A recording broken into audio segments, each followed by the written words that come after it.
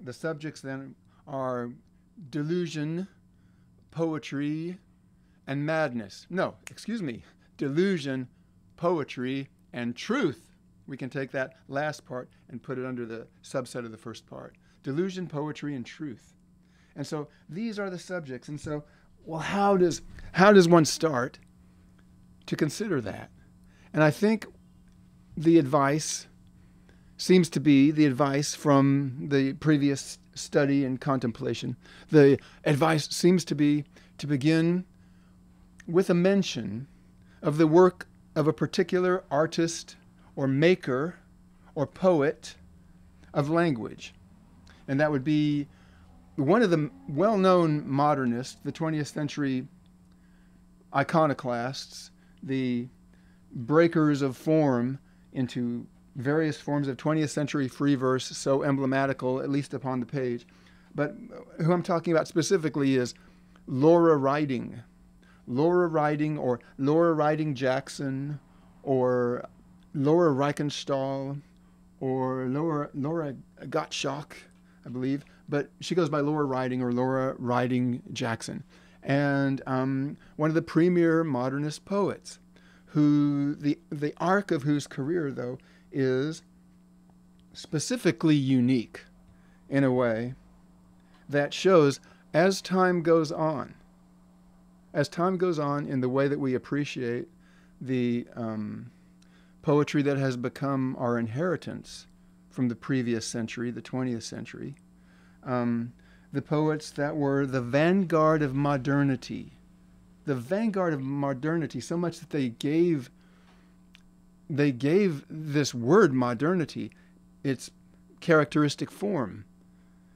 The poets of the heaps of the ragged edges of civilization, the wasteland, T.S. Eliot, Ezra Pound's juxtapositional method of composition in the cantos, um, Gertrude Stein and her way of collecting, so to speak, collecting communities of people, expatriates in Paris, along with a gifted way, I suppose, of giving a party or having a symposium, as well as a gifted use of the form of the word.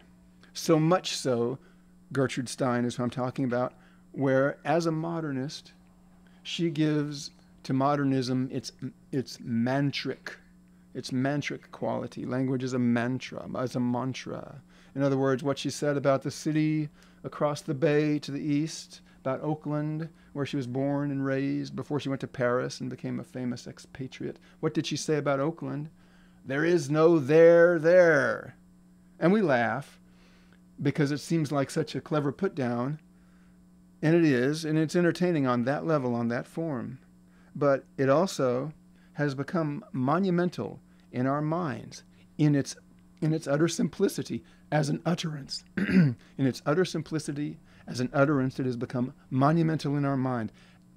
It's a tautology oh so fascinating and yet it is not a tautology. There is no there there. It's um, a statement of meaning that comes up in such a way that when it disappears it leaves behind no trace of itself as something that you can signpost in your mind in any conventional way. Or to take another example of a similar kind of thing, a rose is a rose is a rose is a rose is a rose. Now, here Gertrude Stein steps into the tradition of artful use of language as a student by quoting Shakespeare a rose by any other name is just as sweet, which is itself a deep, original, and profound statement on the nature of language. A rose by any other name is just as sweet. You take it in through your senses, the most refined being, the sense of the sense of smell, which attunes you to the atmosphere, and you know the rose that way. And yet, at the same time, you speak of it as the rose.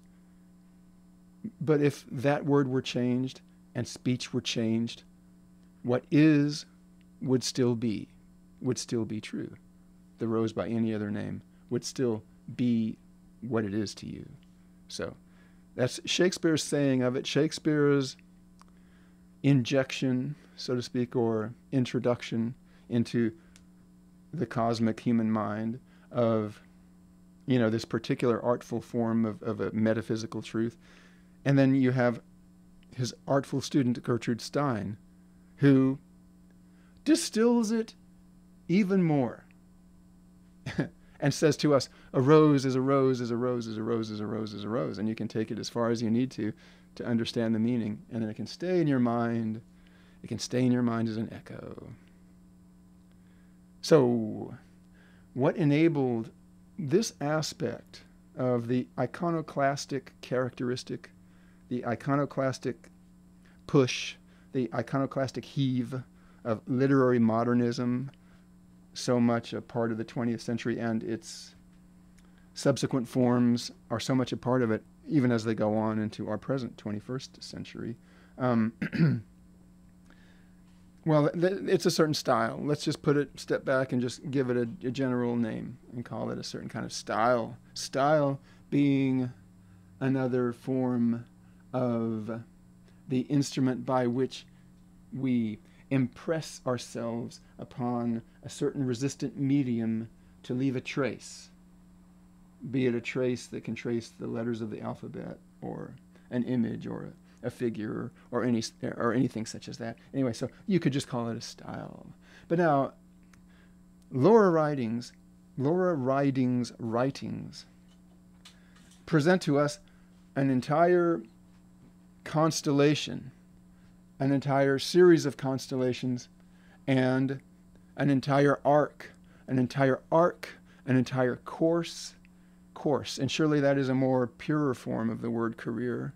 A course of a journey, the journey of a maker, the journey of a poet, the journey of one with a unique experience and skill of imaginative conception at play in the field of language, characteristically restricted to versification, but in a larger sense, must also include forms of rhetoric and everything involved in, in rhetoric as a style, but even more than that, as, as a writer or what?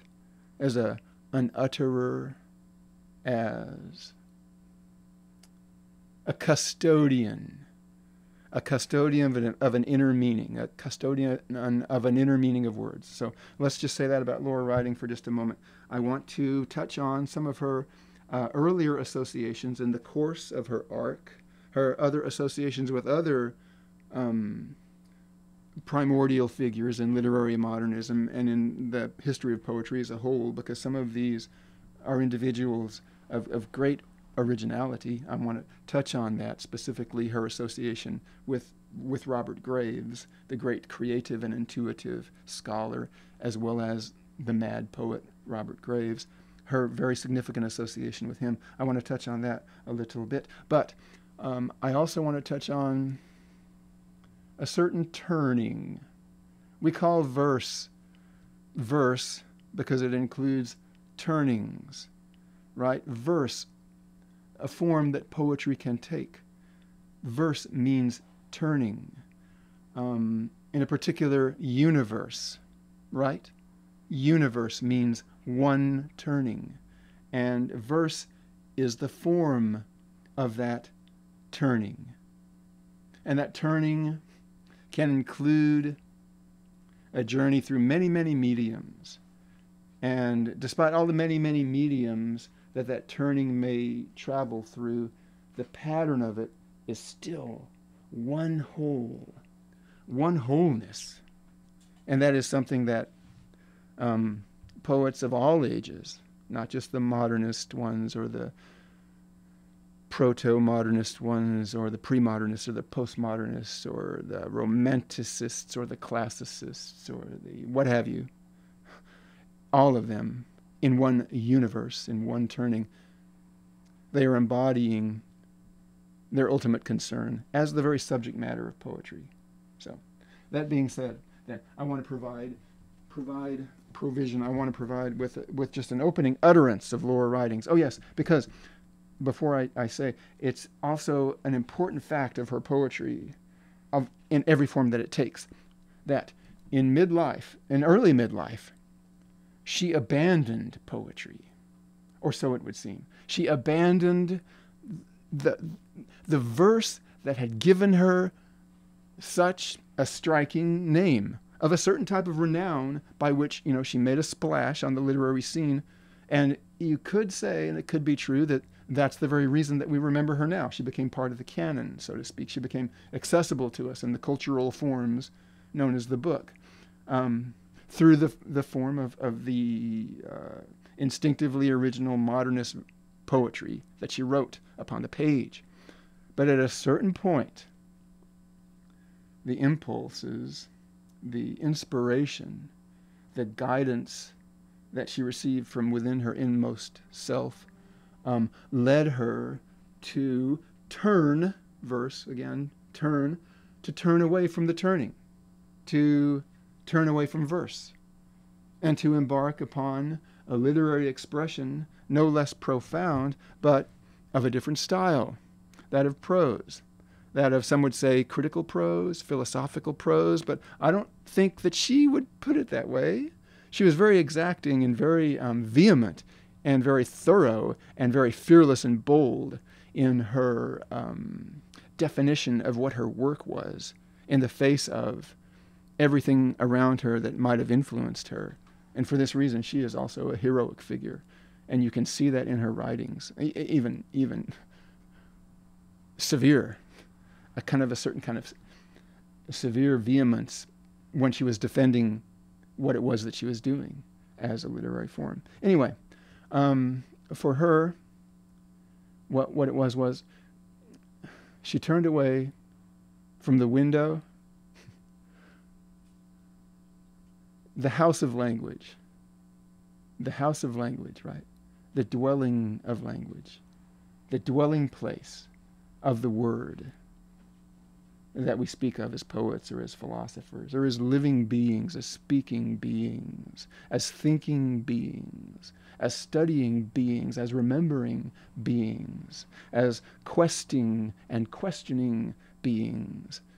We are led again and again on our road of language to a house of words, to the dwelling place of our conception of language as a whole. And as a dwelling place, it is a structure. And as a structure, it has certain fixed and definable forms or, or features or characteristics. As a dwelling, as a house of being, language has windows. Language has doors. Language has foundations, floors, and ceilings, and roof beams, and all these things, and they're all fruitful metaphorical ground. But what I want to speak of specifically is the door and the window. Or, as it is said in an old fairy tale, speak to the door so that the window may hear. In other words, the language of indirect communication. Because everything that you do, which means thinking and speaking in consciousness, in the house of language, everything that you do in that house has something to do with every other element of the house because there is a structural principle that embodies it in its entirety. This is, this is like the myth of wholeness, right? The myth of the dream of wholeness that poets might seek after. Anyway, so for Laura Riding, um, the gestation or the destiny or her daemon or her angel in the course of composition um, inspired her to turn away from that world of language glimpsed through the window, either from within to the outside world or from without, from the outer world to the inner world through the window, um, not to make too much of it, but at a certain point, she began to wonder about the window, the eye of the wind, the wind's eye, and she began to turn from the window to the door to the doorway, to the door. And what is the door? The door is a movable barrier that can be opened or closed. Knock, and the door shall open. Right? Close the door, and you will accumulate what is within the house in a greater kind of atmospheric kind of energy, I would think. But the door, a movable barrier, there or not there, in other words, is also a way, a way through, a way in, a way out, a way between, a way to be both within and without. And so then, for her, you could put it metaphorically this way um, the poetry was the appearance caught through the window, either looking out or looking in. But it's different from the door because it is the door that is used for the person, the you, the soul, the being to go through, in or out, or to be neither in nor either out, all of which is made possible by a door, by a doorway, by a threshold. So, this caused her to turn away from the, the visual form of the poem on the page, free verse modernist poems on the page, which, as part of her, her daemon, her career, the splash that she made was rather controversial in many ways. There were so many sensitive readers of poetry back then. It's unimaginable to me now. We can only idealize it as we study the history of our art form in our mind, what it was really like to have this kind of devoted attention paid, so much so that you could bank on the sincerity of those who championed your work or who detracted your work. And so for Laura Riding, that, this is part of her appeal, part of her style. It's controversial. It was either liked or not liked. It was either endorsed um, heartily, enthusiastically, or it was set aside.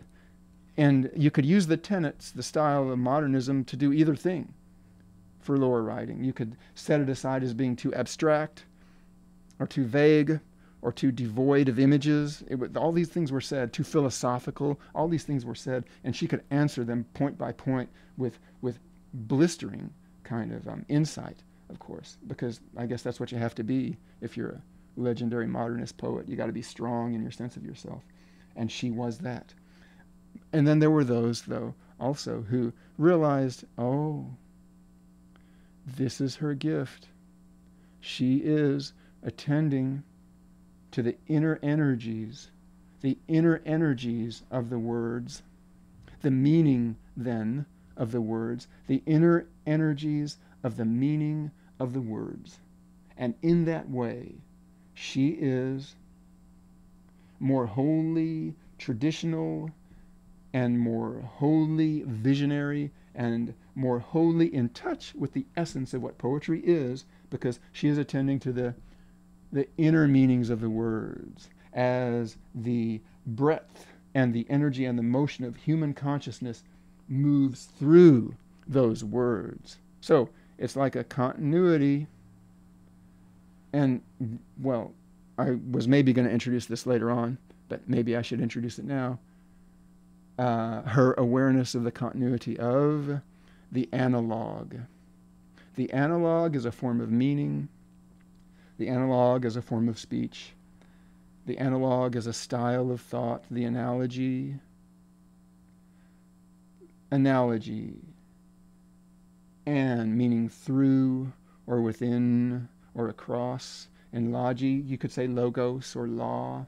The law within, you could say, the analogy. The law within. Or we could go to contemporary technological terms, and we could look for an insight into this primordial word analog in the world of technology, in the world of electronic broadcasting. And we would find that the analog is that which is of a continuality, of a continuous wave through many, many different mediums and um, capable of being translated into other mediums and yet still maintaining a certain kind of continuity or wholeness of pattern despite the intermittences or the um, beginnings and the endings or the transitions of one medium to another. There is still this kind of continuity, this wavelength, right? The wavelength. you know, such a natural thing the sea, the air, sound, the land, the waves within the words, the waves of meaning, the rolling waves of interpretation of the inner meanings of the words as they go through not only individual consciousnesses but also cultures, the analog.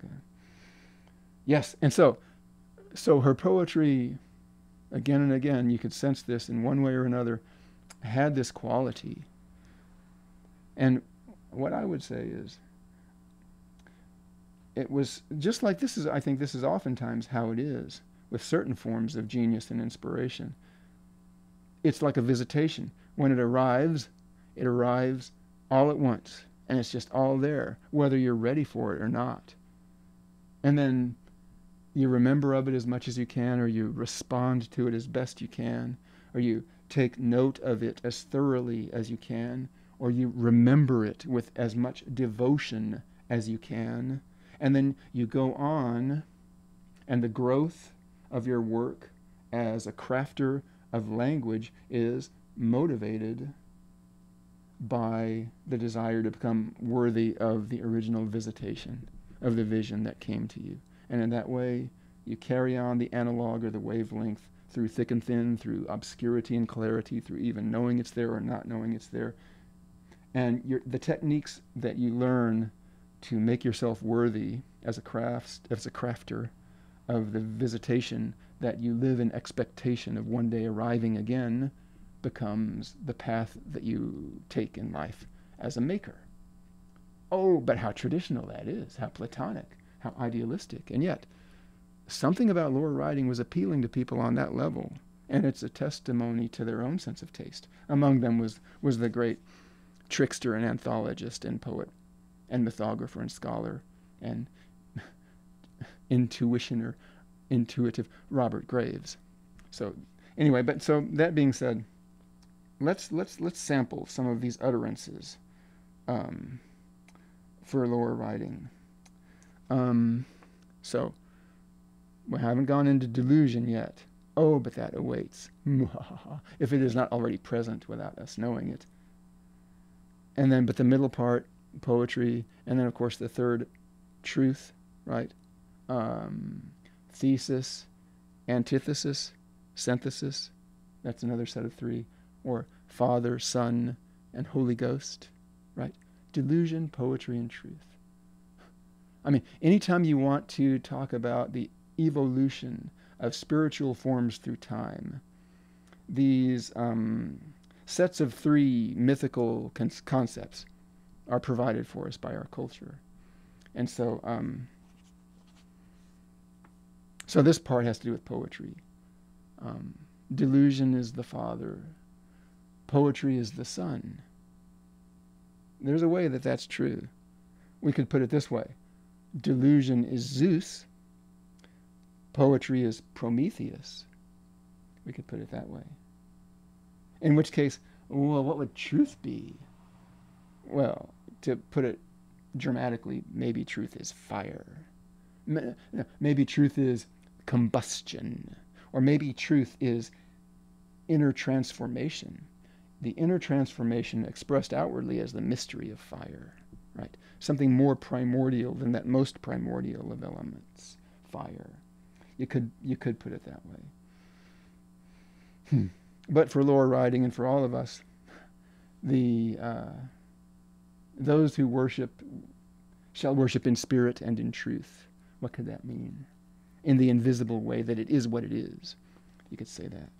At the risk of uttering a cliche, but everything becomes a cliche, right? Isn't it the fate of language in time, in time, to become a cliche?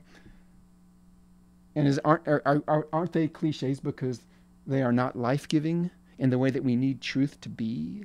So if we desire and need that truth be life giving, we have to enter into it in the house, through the house, through the doorway of inspired speech, of language. And Laura Riding is an architect of such a house. Anyway, but let's hear from her in her own words, where she she clarifies to us what poetry as she set out to practice it was for her. Here is what she says Poetry. A transformation, a transformation through poetic apprehension of the spiritual function of language and the natural force of the life breath of the word animating human mind. The natural force of the life breath of the word animating human mind.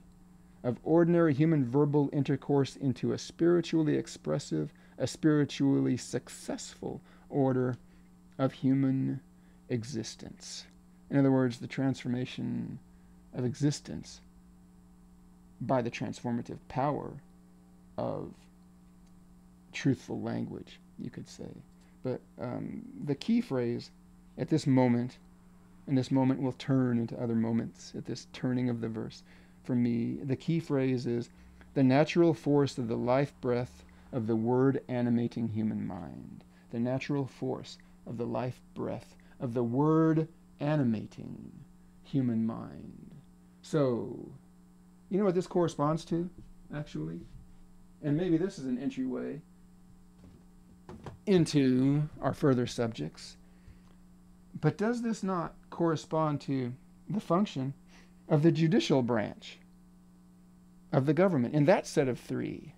Isn't that what it is? Um, isn't that a set of three? The executive, uh, the administrative, and the judicial? Um, a model of government? And I take, um, you know, I claim some degree of legitimacy for that analogy because is not Plato's poetic, one of his many poetic masterworks, is, is it not called The Republic? And is it not modeled upon a state, the functioning of a state or the setting up of a state? And I contend that it is not so much a, a, political work. When he's talking about a republic, he's not talking about an actual political form, but he's speaking of it as an analog. The analogy of what he's trying to get at in terms of truth is what he expresses through his description of the functioning or setting up of the ideal state. So, that in mind, the administrative, that's doing. The, um, the executive, that's command decision making, but the judicial, this is where I think it's important, it's judgment, the faculty of judgment. And um, so it would seem there are so many forces at play here, but the faculty of judgment that is our inalienable, an, an, an inalienable feature of us in our existence as human beings, the faculty of judgment, is um, continually subject to movable barriers and onslaughts of obstacles of our way toward our own inner understanding of, of the making of, of judgments, of moral judgments, of judgments of fact, of judgments of meaning, of judgments of, of various you know values, visible and invisible, sensory and intuitive. This faculty of judgment corresponds to the judicial branch, and so in this kind of poetic description of an ideal judicial branch, how does the judicial branch operate? It operates through successions of interpretation it's their it's histories of theories of interpretations, interpretations of individual cases and situations, as well as interpretive philosophies. But again and again, we come back to the word interpretation in the area of uh, of judgment, in the area of judicial evolution, in the area of the understanding of certain moral and inner qualities that we are presented with as part of our as part of the way we live and move in this world. And so, um, so for Laura Riding, then, the life breath animating the meaning of words, that is her wave. That is her analog. And it goes through vocabulary, through syntax, through diction, through rhetoric, through verse forms. It is a continuity. And not only is it a continuity for her, and this is what I venture to say, um, this is part of her or our conception of ourselves as poets are makers, the same inspiration that leads us into the poem leads us out of the poem, and then we go on from the poem, and then the poem remains there as a signpost or as a sight seen through a window, either within or without. Seen through a window, that is the poem as poem, of the poem as temporal form, something seen through a window. But what about the other aspects of the house of language? What about the doorway by which we go through and in and out, and at times are neither in nor out, and flow back and forth through the door? And so for her, then, the door that uh, was hers to occupy and use and enter and exit and dwell upon the threshold of was the door of the the entire course of language itself as it goes into and out of poems just like when she was writing formal individual atomized atomized poems her consciousness was what was leading her into the poem and out of the poem. And it was almost what gave part of her poems their energy or their appeal you know, their relentless kind of appeal, the way that it struck certain sensitive readers, was that she seemed to be, it seemed to be like a record of her consciousness as it grappled with these, these really deep and inner concerns, which eventually um, brought her to the point where she left behind formal poetry and thereafter, and she lived a long time, devoted her writing self, her poetic strength as an imaginative maker to prose. Prose, which was considerations and meditations upon upon the meaning of poetry and the destiny, the ultimate destiny of language, and then upon what is it that makes truth known to us. The really deep truth of knowledge and of judgment and in this way, this is what set her apart from literary modernism in a major way because she was presenting it like she was talking about truth. And ooh this could be taboo if you're living in the you know perceptual continual strategy of constant doubt which is good. That's good. But as um, one who made an appeal to the judgment of actual truth in words, this was where I think she had to leave off from poetry as a formal thing and just follow her own muse into these longer prose writings, which did not have as much popular appeal, I suppose, at least in that particular time and place. Um, and yet, though they did not, they are so very influential.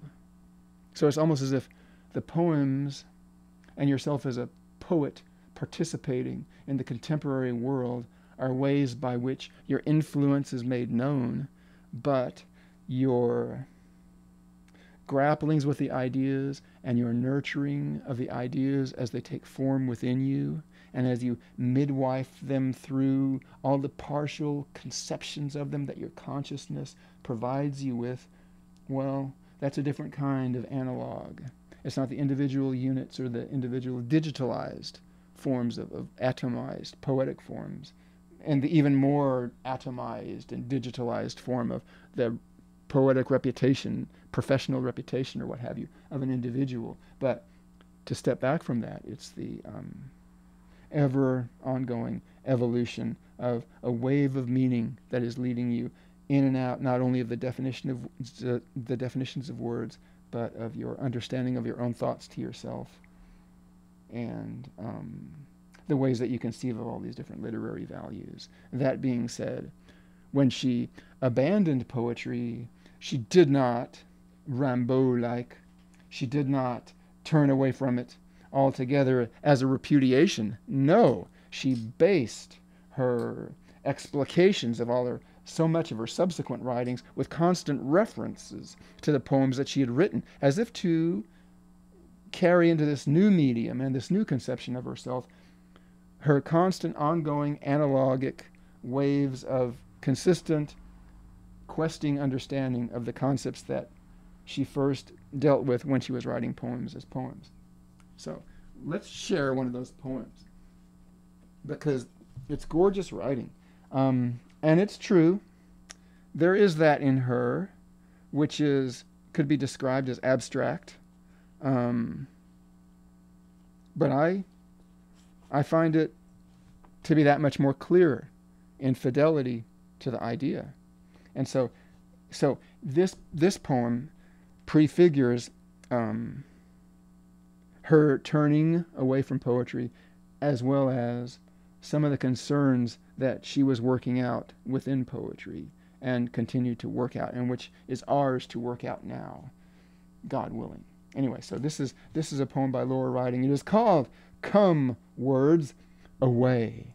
Come words away. Come words away from mouths, away from tongues in mouths, and reckless hearts in tongues, and mouths in cautious heads. Come words away to where the meaning is not thickened, where the voices fretting substance, nor look of words is curious, as letters in books staring out, all that man ever thought strange, and lay to sleep on white, like the archaic manuscript of dreams at morning, blacked on wonder. Come words away to miracle, more natural than written art. You are surely somewhat devils, but I know a way to soothe the whirl of you when speech blasphemes against the silent half of language. And laboring the blab of mouths, you tempt prolixity to ruin. It is to fly you home from where, like stealthy angels, you made off once on errands of uncertain mercy, to tell with me a story here of utmost mercy never squandered. Our threadbare prayers for eloquence, the marveling on man by man. I know a way, unwild, will mercy and spread the largest news where never a folded ear dare make a deaf division of entirety that fluent half a story chatters against this silence, to which words come away now in an all merciful despite of early silvered treason to the golden all of storying. We'll begin fully at the noisy end, where mortal having tempered mercy, to the shorn utterance of man sense, Never more than savageries took they from your bounty book. Not out of stranger mouths, then, shall words unwind, but from the voice that haunted there, a dumb ghost haunting, birth prematurely anxious of death. Not ours, these mouths long lipped to falsity and repetition, whose frenzy you mistook for loyal prophetic heat to be improved but in precision. Come words away. That was an alien vanity, a rash startling, and a preening that from a truth's wakeful sleep parted when she within her first stirred story-wise, thinking what time it was or would be when voiced illumination spread. What time, what words, what she then? Come words away, and tell with me a story here, forgetting what's been said already. That hell of hasty mouths removes into a cancelled heaven of mercies by flight of words back to this plan, whose grace goes out in utmost rings to bounds of utmost storyhood. But never shall truth circle so till words prove language is. How words come away from far sound away, through stages of immensities small, centering the utter telling in truth's first soundlessness. Come words away, I am a conscience of you, not to be held unanswered past the perfect number of betrayal. It is a smarting passion, by which I call, wherein the callings loathsome as memory of man flesh overfondled with words like over-gentled hands, then come words away. Before lies claim the precedence of sin, and mouldered mouths write to, and mouldered mouths writhe to outspeak us. So there is so much in that poem, but I wanted to put it across as a single utterance because it exists in that way as well. And then do what I have done. Make yourself a student of it.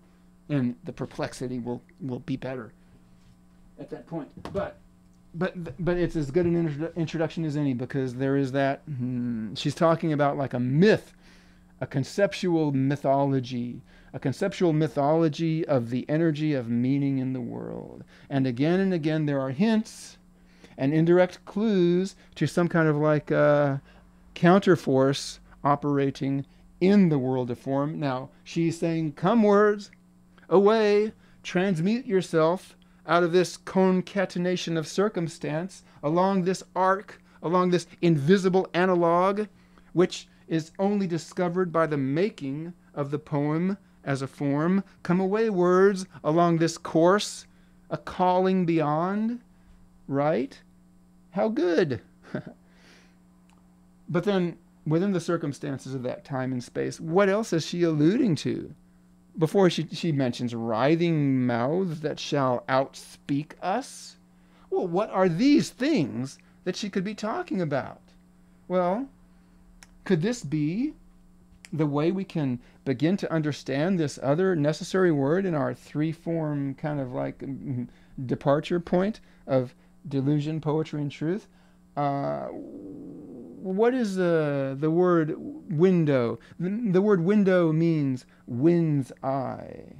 Um, what is that great French word, or that great obscure fun word that we sometimes love? Defenestrate right? The defenestration of Prague, the religious uh, political struggle that gave rise to the uh, historical incident whose, um, you know, it's almost comical now, but that word defenestration, that's for, I don't know for how many of us. I wonder if we could take a survey. Which percentage of us learned the word defenestration from learning about the defenestration of Prague in the history of early modern Europe? Well, that's not a question that I can answer. But defenestrate, I'm talking about, it means window. Fenestra is the word for window. It's also etymologically related to the word for, for showing, the Latin word phenomena, showing. So, in other words, the window is for looking through, either outwardly, of course, at the outer world, or inwardly from the outside at the inner world. This is what the window is for. It is for looking. But what is the word, the, what is the structure, the opening for going through yourself? That is the door.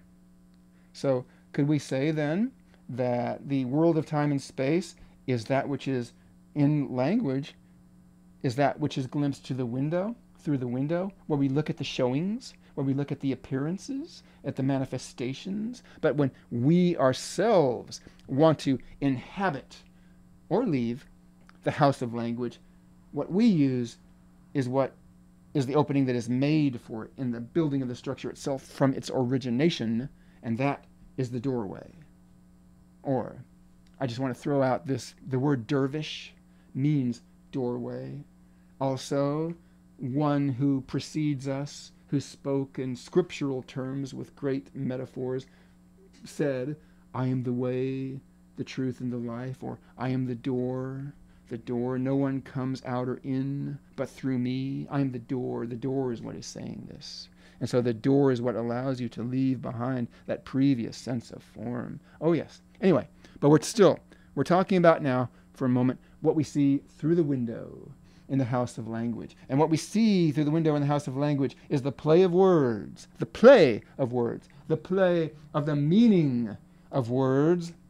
The play of words, the play of the meanings of the words, circulating in a world of power, a world of temporal and political power. And how is that power used or shaped for the benefit of those who have taken the forefront, the upper end of the stick, you know, the um, crucial part of the tug of war rope. Uh, how is that power shaped and accumulated and kept and used to increase one's position in society by uh, the energy of of opportunism, you could say. The world of temporal power. What is the world of contemporariety but a world where power is finite? Power of whatever form, material power, immaterial power, no matter, it is finite.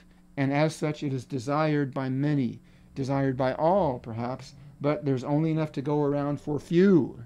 And this leads to that constant kind of back and forth play of the energy of power in the world and how power is accumulated and shaped and wielded is through the influences of the ideas and the influences of the words.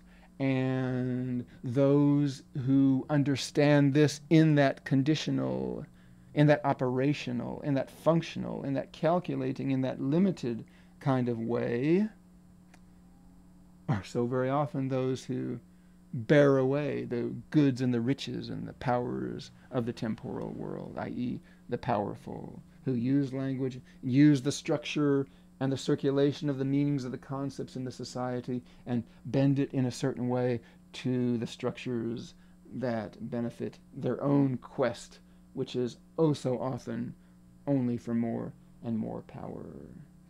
Yes. So, which brings us to this word delusion delusion. Well, you know, one of the key etymological roots of this word, illusion, is play. Like ludent means play. Delusion, it means, you could say, to play falsely. To play falsely. Could that mean also to cheat? Could that mean also to enact a transformation or transmission, maybe that's a better word, or transition of power without the other seeing it as such. Deceive, delude, to play falsely, delusion. So there is that aspect of it. It is at work, though, in the human psyche from within. Delusion. It seems to have two parts if we're going to think of this word in the energy of its meaning as having something specific to say to us now. It seems to have two parts. There is the delusion, the falsity of that which is before you, the falsity of the appearance, the um, that in the appearance which is only appearance and not actuality, and yet is still part of the form of it that you see with your eyes or whatever. Um, there's that aspect of it. But as to be a delusion, it must be surrendered to somehow. It must move into the house of language, which is the house of the cognitive psyche, and take up residence there as an uninvited guest, you could say, or perhaps as an invited guest. Maybe people delude themselves for all kinds of reasons, and maybe they consciously do, but most of the time, the basic essence of it is not conscious. It's, so, in that sense, you could say it is an uninvited guest in the house of language. So, now that we've entered into the world of temporality in the light of all these poetic themes, let's consider some of the like corollary images or metaphors that we can bring to bear upon our perplexity in the face of this. Um, Come words with me away. Okay, you know what that is? As, as well as many things, that poem. It is a calling. It is a calling. Called. And so, you know, uh, the most literal thing that I do in my uh, philosophical activities is the most literal thing I do is I try to go into these etymologies, the histories of these words, to see the ways that the words and the parts of the words change through time and the ways that they are that they are used. And um, in order to get a sense of what those words are all about, because that sense is present all the time in all words anyway, working on us in our conscious minds, but also present to us in our unconsciousness, you could say, to use a psychological term, which has its purpose. There is that beneath us which we do not see and yet supports us. We could say that that is our unconscious. And um, these things, these meanings of words and these images, constantly are operating in our unconscious minds as well as our conscious minds. And somehow, for some reason, we as citizens have become, perhaps as a whole, as a general term, mm, we have lapsed in our awareness of the connections between the conscious and the unconscious mind. So that there are these traps in the floor, these doorways that come, vertical doorways that open up and close in all these unexpected ways through which all these energies go back and forth and influence the conceptions that we have as we try to come to an understanding of this world as we go on. And this is how delusion works, you could say.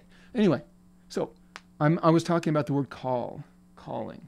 Well, what I would like to say is it's a, and I was talking about etymologies, and so I've gone on a little etymological tightrope here. Um, perhaps less tightrope-ish if I could recollect more of the specific linguistic terms by which I'm arriving at this kind of leaping off point of intuition. But I just want to offer a definition of God, partially bolstered by turning the pages of a book, making sense of the print on the pages in my mind, which comes out in the form that it's coming out now. And who knows what kind of sense it real makes, really makes. But I'm talking about God as who is called, that which is called, called God, who is called, God, who is called. Um, for some reason, I'm reminded of the inscription that Jung, that um, you know primordial figure of the unconscious study of the mind, Jung, Carl Jung, he built himself a tower, a real tower with real stones and over the doorway he inscribed some words, probably in Latin, but the meaning of the words in our language is was this called or not, the God is there. Called or not, the God is there. And this is an explanation of the truth of, of the conscious and the unconscious mind. You could say, oh, yeah, the conscious mind is what we consciously call to or refer to or try to remember or to understand. The unconscious mind is that which comes up to us, comes up through us, presents itself to us in all these ways that we never get used to, and influences our judgments and our judicial fa- faculty in a certain characteristic way, which we can only begin to understand as we go through the course of our lives. This is our the nature of ourselves as unknown psyches, as unknown psyches to ourselves. It's part of the ways we must understand ourselves if we want to come to an understanding of, of what mysteries that beckon us in our practice of, of our various art forms. Anyway, so so that I mentioned God, you know, and called doorways, right? Passageways, that's what we're talking about. I mentioned the door itself as a movable barrier which then leads me to say that I must mention also the notion of obstacle. Obstacle. What are the obstacles to the fulfillment of, of that which we truly want to understand? Okay, that's where I have to bring in the ideas for dramatic purposes, for conceptual purposes, for purposes of understanding this tradition of thought, of the obstacles, the adversaries, those things that work against, those things that work against. How can you mention God in this dualistic, circumscribed world, circumscribed by dualism and time and circumstance? Of course, there's a lot of parallel roads of meaning all around, over and around and under this world that encircle it and impinge upon it and flow through it, more transcendental forms of communication and commerce. But in this world of time and space, of duality, there's a devil. What does devil mean etymologically?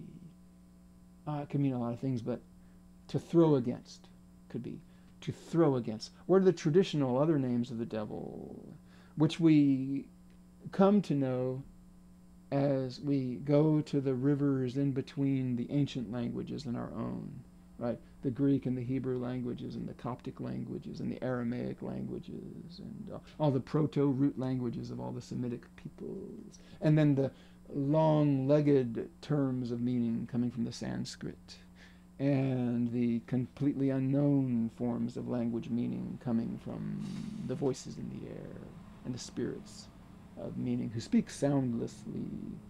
And uh, in Laura's poem, she had that soundless aspect as well, something to pay attention to. But anyway, um, so traditionally, in, in, those kind of words, um, the devil could be called the slanderer, could be called the whisperer, could be called, in a judicial sense, the accuser. Um, the word Satan, I think it means originally obstacle. So that in the most primordial biblical texts, uh, there's not Satan referred to as an individual. It's more like the Satans are the obstacles. So I think probably there was some storyteller who knowing the needs of the story and the needs of the audience to whom he was speaking, knowing that it needed to have some personification, some characterological vividness, this obstacle force to the formation of the human soul along its pathways of discerned righteousness.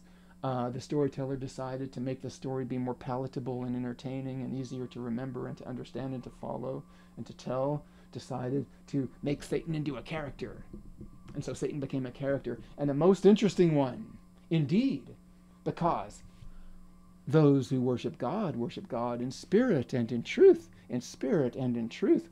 That's fine and good, but that takes practice. That takes practice and the awaiting of the visitation, which your practice has endeavored to make you worthy of. But um, the devil, it's it's a little bit different. The devil seems to know right from the start, and to be able to convey that which is oh so vivid and oh so captivating and oh so engulfing, and yet there's something missing about it all. And what would that be? Could it be reality? I don't know. Let's think about that. And so also to introduce another characteristic person that we if we want to understand Laura Riding and her work, we also have to understand Robert Graves, the great and tricky and mischievous genius intuitive poet um, they were associated very much together in the um, early formative life of both of them. Yes, and it had fraught and dramatic romantic aspects as well. And maybe we'll go into that as, as an introduction to what that could be. Um, I want to read this poem to you with the most intriguing title by Robert Graves, an early associate of Laura Riding. The title of this poem is The Devil's Advice to Storytellers. The Devil's Advice to storytellers and consider the ways that we've begun to speak to speak of the devil and um, let's consider him for a moment uh,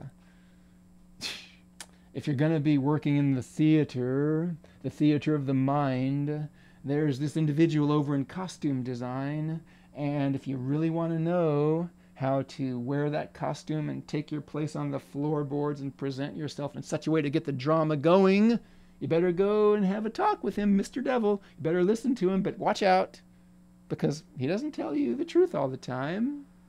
He's very interesting.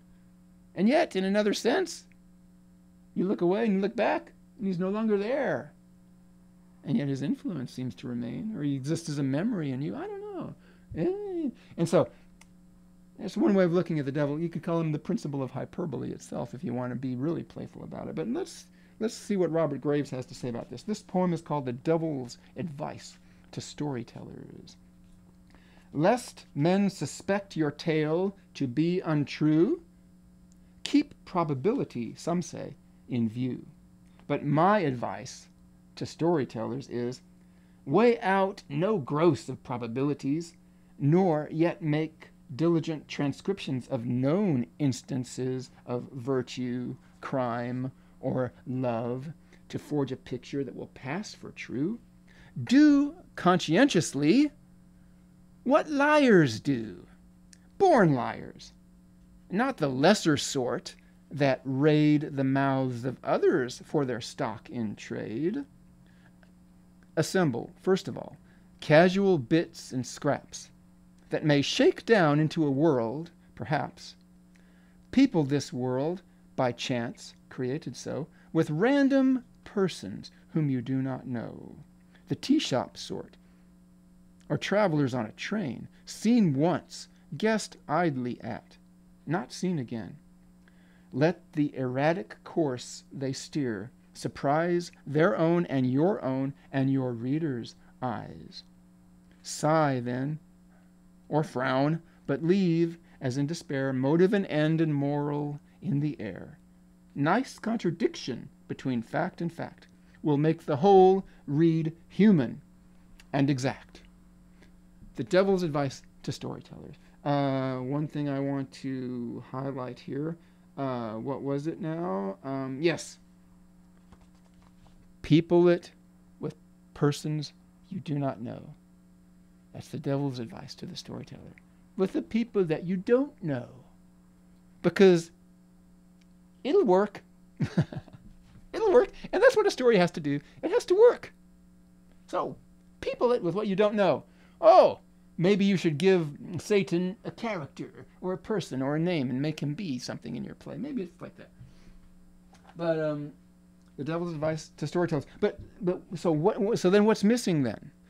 Okay, well, what you have been given is everything that you need to make a world, everything that you need to wield power in the world, everything that you need to trick people, everything that you need to be tricked. Can't have one without the other. Everything that you need to wield, hold, accumulate, use, power, justify, power rather than justice. You have justification of that which you are doing. Why? Because you have peopled the world with what you don't know. And yet, the model of language that Laura, Laura Riding gives us is one in which language is a house. You see through a window, you see a world circumscribed in time and place, you see actions and transactions and powers and dramas. You see through the window. But what about when you, when you yourself want to go in, or when you, you yourself want to go out, or when you, you yourself want to be neither in nor out? Then there must be the doorway, the doorway, the threshold, the way, the truth, and the life. So, well, then what? Well, then, so then, the devil's advice to the storyteller has to do with what you see through the window. But when it comes to the part about knowledge, right? Because that's what you don't need to have when you assemble that world in the world of time and space. Knowledge of the people involved, knowledge is the chiefest and most inmost essence of the questing human being as a language presence, as a language presence in a field of language, in a field of words, which in and of themselves uh, do they exist? I mean, do they exist without our word animating human analogic energy to travel through them and animate them and lift them up, so to speak, to make them appear and move in a way that reflects the world that is hitherto invisible un- until expressed through them?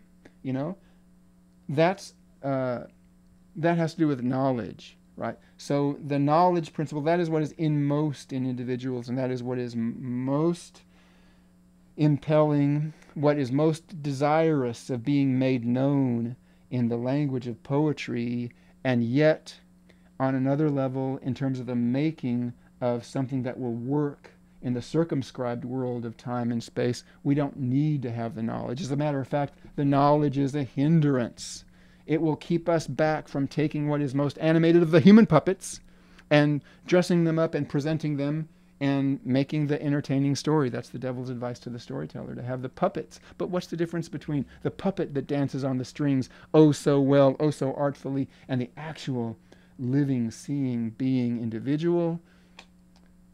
Only the door knows, right? Speak to the wall so that the door may hear. Speak to the density of matter and in time and space so that the door may hear. And what is the door? It is an opening. It is a way through, a way to be neither in nor out, a way to be to be beyond, a way to enter into, a way to pass back and forth, a threshold. Knowledge. Knowledge is the province of the doorway. This this individual uh, knowledge. Okay, so that's good. The Devil's Advice to Storytellers by Robert Graves. But let's consider this corollary thing now. I dropped a little hint that early in their careers, um, Laura Riding and Robert Graves were deeply and romantically involved. Let me tell you some more gossip, vivid stuff. The devil's advice to storytellers, right? You know, you don't know these people, but boy, they got some dramatic things happened for them. We're talking, uh, you know, early in their career. You know, Laura Riding, she was American you know, she came over. Uh, she was married to Louis Gottschalk, the history professor. She made a strong impression on the fugitive group, the Allen Tate, Robert Penn Warren, John Crowe Ransom, who at that time I think they were all professors at Vanderbilt, and they were putting out this uh, magazine called The Fugitive.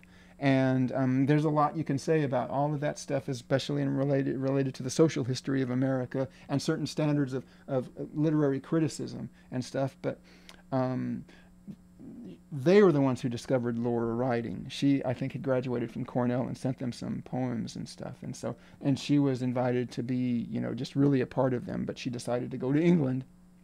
So in England, she fell in with Nancy Nicholson, an artist, and her new husband Robert Graves, who himself um, survived deadly peril at the time of the First World War. He was a Royal Welsh Fusilier, and he left the service after that and, and was, um, you know, a deep and nascent and precocious and, and beginning to be beguiling kind of like creative personage and and so to, make a you know a long and sensational story short they had themselves kind of a menage a trois a menage, menage a trois you know and and Laura Riding, she was just, I guess what happens is in this legendary gossip, which may or may not be really true, but it's kind of a principle of interest. And after all, once you read the poem The Devil's Advice to Storytellers, you have to take the devil's advice a little bit farther into the story. So, yes, they had themselves a menage a trois, but it didn't work out. It's, you know, it, it ended very explosively when, during a heated argument about 1929, and I think there were several romantic individuals involved.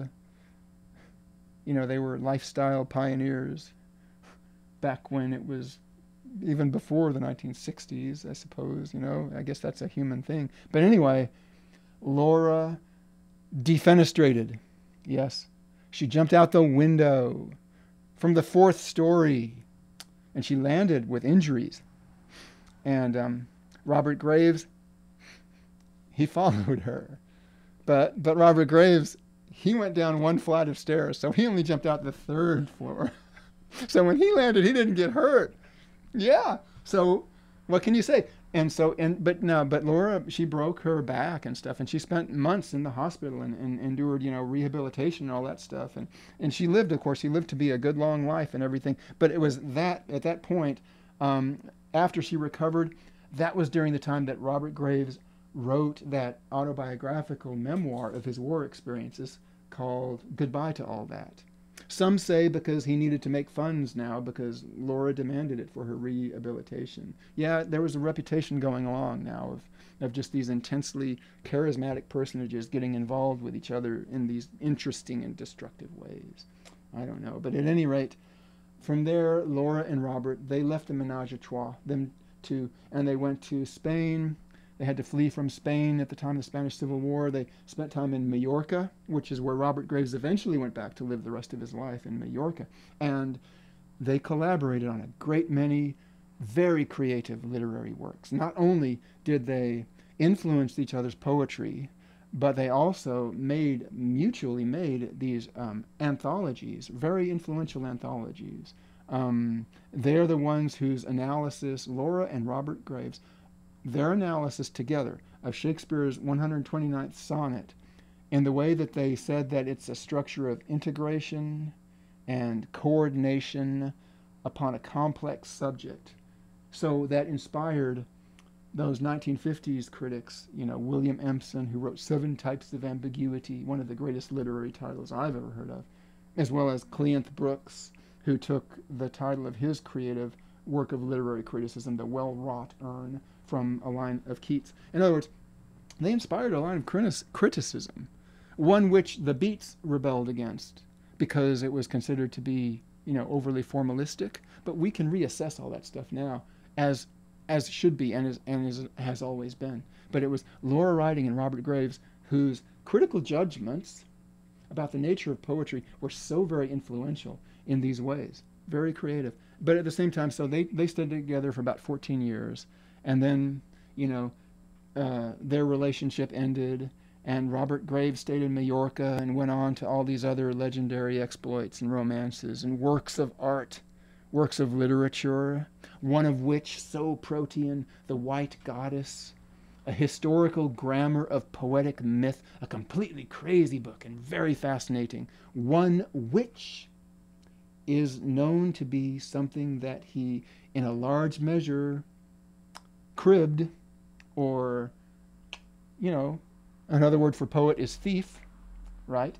Uh, Laura Riding had a lost manuscript about some proto uh, heroic uh, figure out of the ancient matriarchal kind of traditional religions. And she, when she left Majorca, told him that he needed to destroy that manuscript, but he did not supposedly the legend goes. But from it, he fashioned this inspiring and kooky um, compendium of uh, poetic myth, this grammar of poetic myth involving all these anthropological and mythopoeic cycles.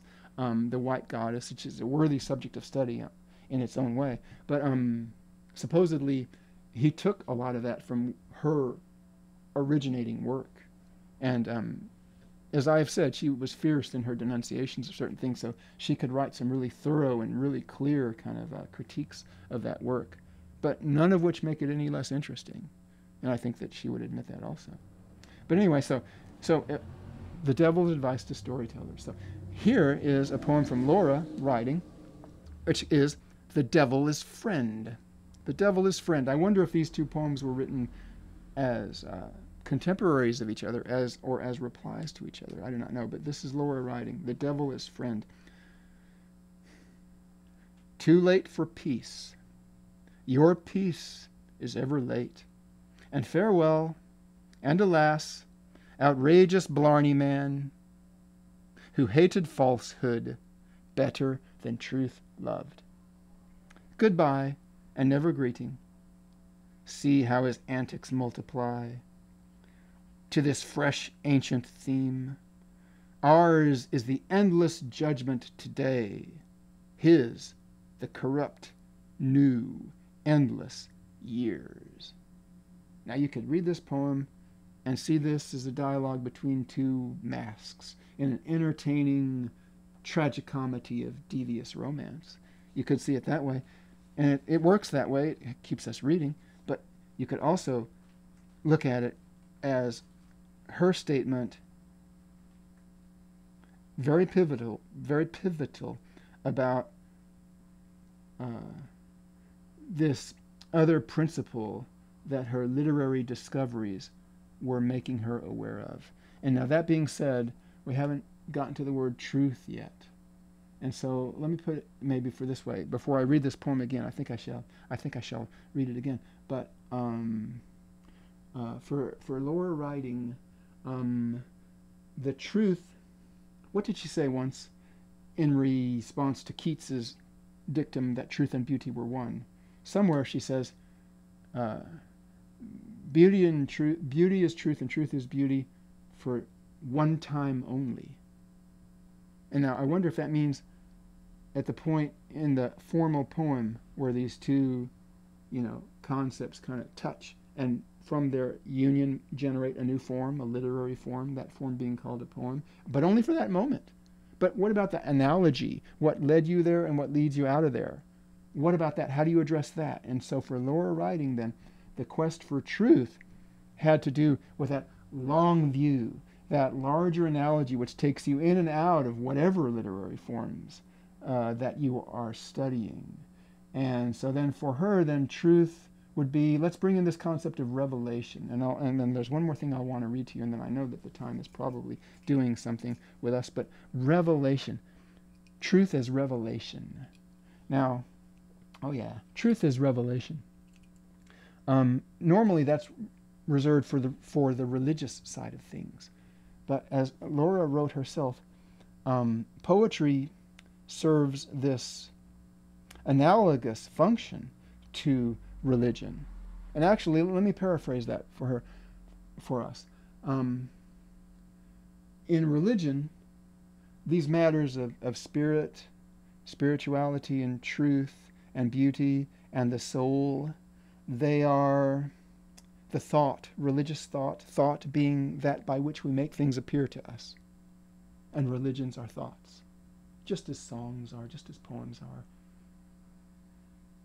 But religion, then, in that sense, that by which thoughts appear to us, thoughts of spirit and matter and beauty and mercy and pity and peace, these things are presented to us in, in these kind of formal and ceremonial and symbolic ways, as well as these, you know, intellectually conceptual ways, be they dogma or theology or teaching, you know, or any of those things. Whereas for her, poetry, um, she speaks of it as a um, as a secular thing, but it's it's it's actually also kind of an, an otherworldly kind of um, secular kind of discipline. I wonder if I wrote it down in here where she talks about that. Um, thought I thought I did. No, I guess I didn't. Oh, or maybe I did. Um, well, let me just put it this way: for her, um, rather than the formal, it's a question of style. It's a question of form. Religion is a form. Religion is a style, a way of presenting thoughts to the mind. Poetry is that where for her the spiritual principle is what is discovered by the poet, what is revealed in the course of the poet's work as to the inner nature of the meaning of words. So the revelation that she sought, the revelation which for her is truth, um, is that which is created by the discoverer in the act of discovering. We say revelation to mean an unveiling or a seeing. But if it is something that we only see as something that is there and true, then it's just a fact. And you know, facts are just always there anyway. They don't need us to be true. They're true without us. But there is something else that does need us to be true. And that is the revelations of the Spirit, whose workings take place within the form of poetry as poetry goes through its changes in its in the arc of the lives of its practitioners. So I think that's a pretty good explanation. Um, okay, good. So uh, I'm not going to read The Devil's Friend again, or maybe I will, maybe I won't. But here's something that I will read. This is a prose recollection of her about her defenestration. So here's what she wrote about that. Standing in that room was a quick result. I left that room by the window, of course, and poems came with me. Or rather, I went with poems. I hope you will understand about poems. They are why I am telling this. Because as life, it reads all wrong. But as poems, all right. Okay? Let's read it again. Standing in that room was a quick result. I left that room by the window, of course, and poems came with me. Or rather, I went with poems. I hope you will understand about poems. They are why I am telling you this. Because as life, it reads all wrong, but as poems, all right. So, what the devil excludes knowledge, the inner knowledge of the character, for her, the poems came with her, or uh, she went with the poems out the window. But it was to go out the doorway, out of the doorway of language, out of the doorway of language, which meant taking into account all that she uh, cares for in the origination, in the enactment, in the evolution, in the ways that they are heard, in the ways that they uh, come to our consciousness, to our conscious awareness. This is all part of the course of the inner energy of meaning of the words, which is that which she is attending to. So, yes, you know, the viewings through the window, the entries and exits through the window, these are how she moves in terms of the poems. But as she puts it here, and this is a very good sentence, I hope you understand about poems. They are why I am telling this. Because as life it reads all wrong, but as poems all right. I hope you understand about poems because they are why I am telling you this. So it is the telling, you might say, that makes Laura Riding and, and all of us in some degree the custodian or the steward of the ongoing evolution of meaning, which is that which is being made clear to us in the mystery of language. Truth, in other words. And yet, at the same time, juxtaposed along with that in this world of time and space, there's all these mysterious and unknown things that languages, words, ideas, images, and associations are doing also. And it is those things, of course, that feed our delusions. Is that not true? And um, so, all I can say, you know, is if you look out upon the world, you will hear them, the same words used by the demagogues and by the liars and by the truth tellers. Isn't it strange? They're all, they're all saying the same words. And yet, the reality to which they are pointing and make, making clear is very, very different. And we take part in it in a very, very different way. And it is the poetry that when we understand the revelation of it, it is that which uplifts us and gives us a sense of growth or a sense of understanding the actual nature of reality. Whereas with the other forms of words used in circumscribed worldly terms, all we can be is persuaded or not persuaded. We can assent to it, say yes to it, or we can reject it and say no to it. A world of yes and no, a world of God and the devil, a world of all these dramas influenced by all these unknown things. And that's, you know, that's the way it's that's the that's that's the nature of the forms of consciousness that work in this world. But all the time there is the work of the truth tellers telling, there is the work of the poets making, there is the work of the seers seers discerning. And then there is the work of, of all of us who are, you know, cultivating, cultivating, training, so to speak, arranging that in us which will make us worthy of the truth that we sometimes perceive, the truth that we know is out there, and the truth that we know is in here also. And I guess we are doorways of ourselves because there are as many houses of language as there are individual souls. And all of those houses of language and individual souls, they all have their windows, they all have their doorways, they all have their entries and their exits and their in betweens where you are neither one or the other. And each of these is somehow a reflection or a manifestation of an analogy, of an analog, of something like a wave that is going through all of the forms that we take and undergo and receive and deal with and, and create ourselves. And, um, and just that's the nature of the story of our consciousness, which these poems tell of in a very unique way. So, that having been said, I must thank you for your heroic listening because the time has come for us to let these words go out into the world. So I thank you for your heroic listening. And God bless us.